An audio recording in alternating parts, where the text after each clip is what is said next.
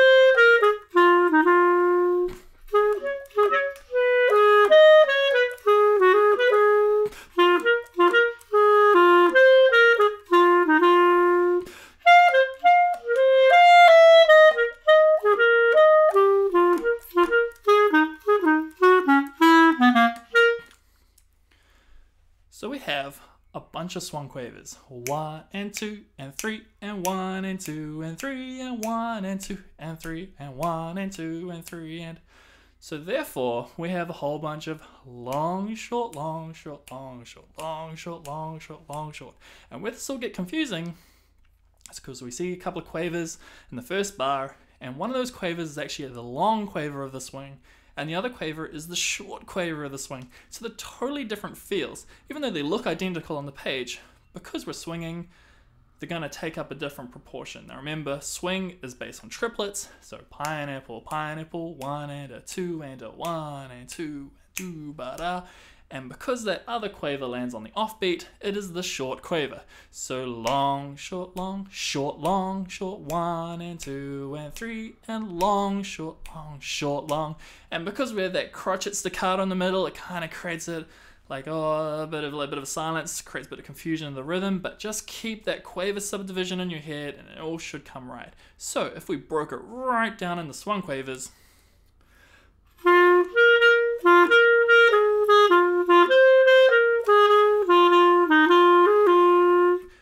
to hear how they're placed within the bar.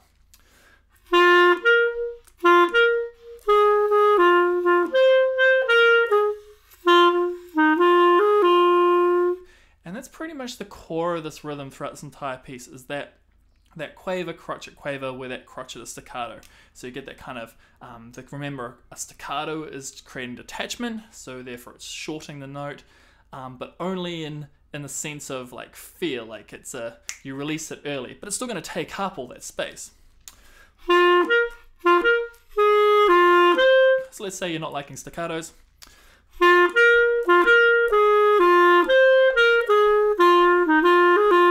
It still takes up that space.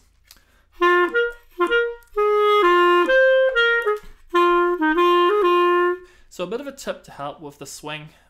The very first quaver of every bar, or where the quaver shows up at the beginning of a bar, just linger in it. Just just feel like you're playing it longer than you normally would. You're not going to play it too long. There's no way you're going to end up playing it so long it becomes a crotchet and the next note comes on beat two. You probably won't end up doing that. So you'll probably end up getting it the right length. Okay, just linger in it.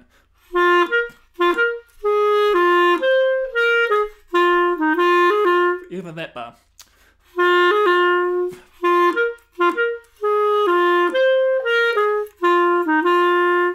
Tricky bar, but again, just break it down into its quavers. One and two and three and one, and just in your head and you're looking at it, just place each of those quavers into that swung framework. And the tune continues.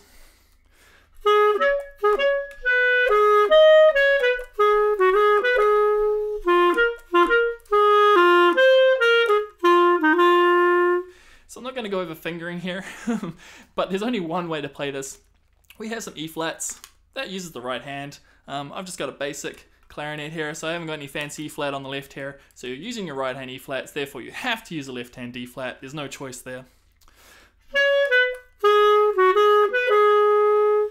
And although in bar 12 you could, and actually I do recommend, because we've played a B flat, the B flat takes up the left hand. So that frees up the right hand to get in position for that D flat. So we can, funny enough, you can actually keep that entire right hand down while you're playing a B flat. And it's not going to affect the pitch too much. So you can be infinitesimally close.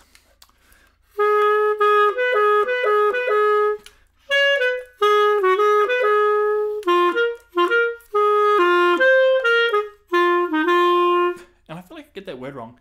It's infinitesimally. Oh my gosh, I got it wrong again.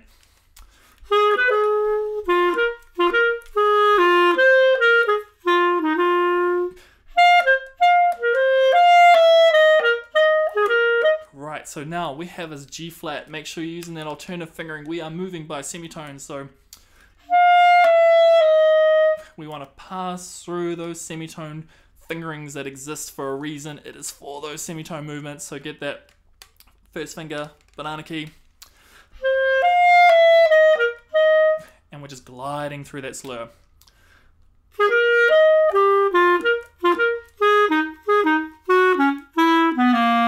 Tricky rhythm again, but again, just we want to keep to that swung framework. One and two and three and one and two and three and, and linger on that first quaver of the bar. Okay.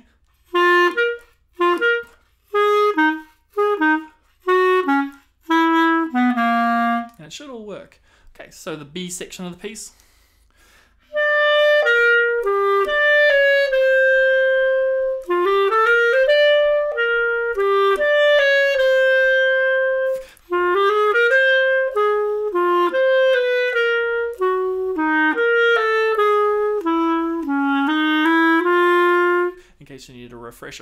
So we have very smooth gliding section here. So the other one was a bit more staccato, a bit more attacked. This one's now your one and two and three and one and two and three, a bit more glidey. So we have, again, swung quavers, one and two and three and one and two and three and one and two and three and one lead in and two and three and next phrase.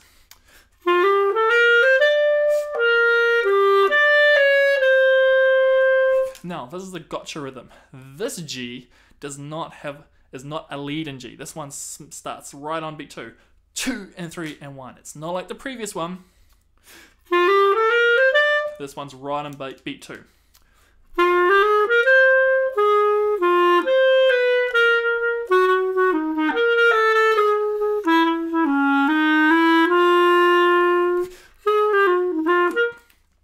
So you can hear my quaver subdivision, I made it explicit, it's always there, it's unrelenting. Someone in the band is doing swung rhythm somewhere, walking bass line, drum kit, anything, something's gonna have that swing, even if you don't personally. Alright, so then we can embellish it a little bit more.